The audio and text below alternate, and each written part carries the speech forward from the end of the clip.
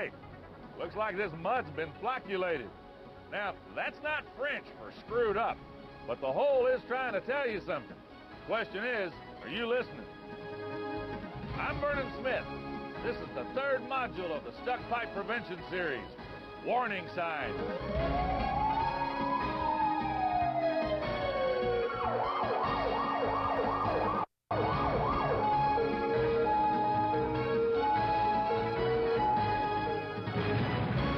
Okay. In the causes module, we learned about the most common conditions that can cause stuck pipe. The bad news was that depending on how you count them, there are probably around 20 different ways to get stuck and new ways being discovered all the time. Well, the good news is, is those 20 or so types of sticking can really be boiled down to only three basic types of downhole mechanism that cause stuck pipe. So, the job of diagnosing the problem is really pretty simple. Now, here are the three main mechanisms. You can pack off or bridge the hole. You can get differentially stuck. Or you can get a downhole geometry mechanism like a key seat or dog leg. So, if you get stuck, you don't have to think about 20 or so mechanisms, just three. Let's take a closer look at each. First mechanism, hole pack off and bridging.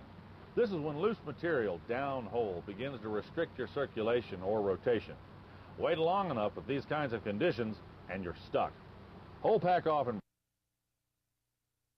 The many causes of stuck pipe can be reduced to three main mechanisms hole pack off bridging, wellbore geometry, and the A. Good. The hole pack off bridging mechanism may occur when A. Loose material downhole begins to. Right. When something has happened that's changed the way the drill string fits the hole, you have A. A differential mechanism. B.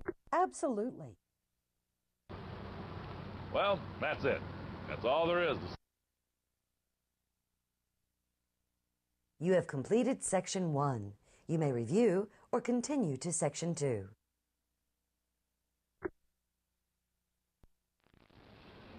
Hey, welcome back. This is the fourth section of warning signs. In this section, we're going to have some fun. And we're going to work on how to add up the signs, determine which particular mechanism is causing all the problems. If you know what the mechanism is, then you can fight back. So let's get started. First of all, if you can spot more than one warning sign around the rig, that's not bad. That's good. A lot of downhole problems have some of the same indicators or clues.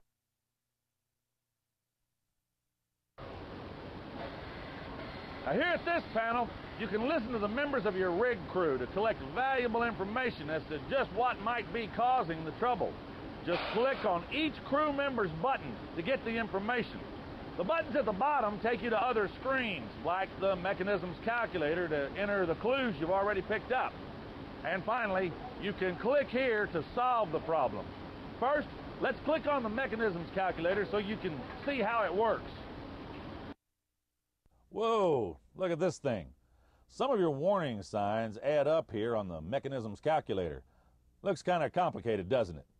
Well, downhole diagnosis does use a lot of information and facts from all over the rig, but it's simpler than it looks.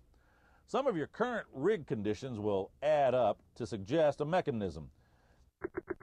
You can see from these categories that pipe motion is an important part of stuck pipe diagnosis, but often when you add these clues up, you don't really get a clear cut answer.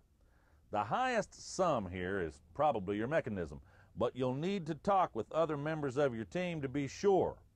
When you are sure, click on the Name the Mechanism button to complete the exercise. You stop the clock by naming the mechanism. Simply select an answer from the three possibilities on this screen. If you did a thorough job of collecting the warning signs, you'll do well on this exercise. Good luck. My crew's starting to hit some snags here lately. I don't want this to get any worse. See if you can help us get this problem ironed out before it's too late. We don't have a lot of time.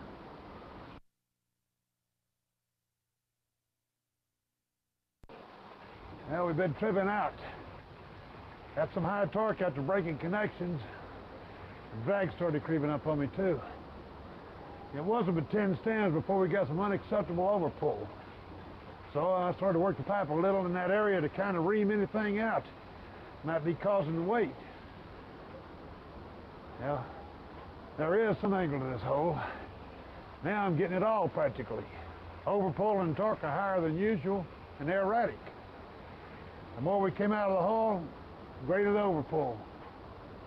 So I'm just working it. We ain't stuck though. I don't have anything unusual. The BHA and bit OD was okay on the last trip out, and we got some cutting coming over. Yeah, the mud looks good. The geolograph showed we had some intermixed layers of shell and sands, and we were making good penetration rate.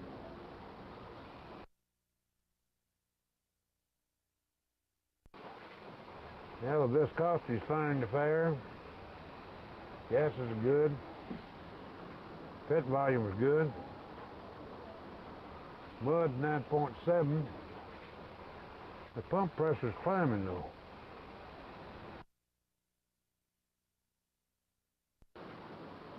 All I've got to say is there's no junk in the hole. Whatever it is, it's not junk. I kept an eye on that. Everything's working fine. I mean the degasser unit, pumps and all.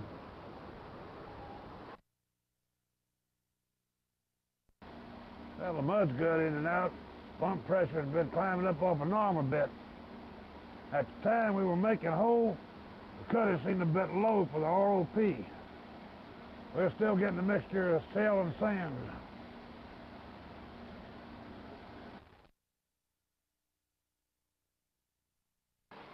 Overpull has been up on connections, the torque too. Trend is a steady climb on torque and overpull. The pumps are up off the normal beat, but we got no well geometry indication of tight hole at the BHA. And the pore pressure is balanced as well as can be determined. The formations are about what we expected.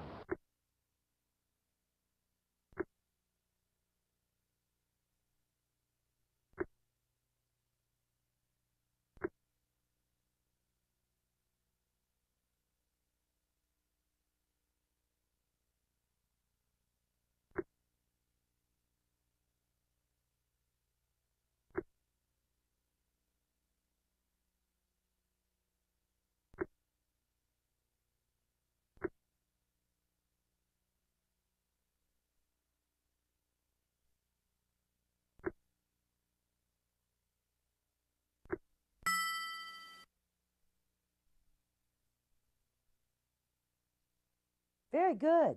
You solved the problem and you didn't get stuck.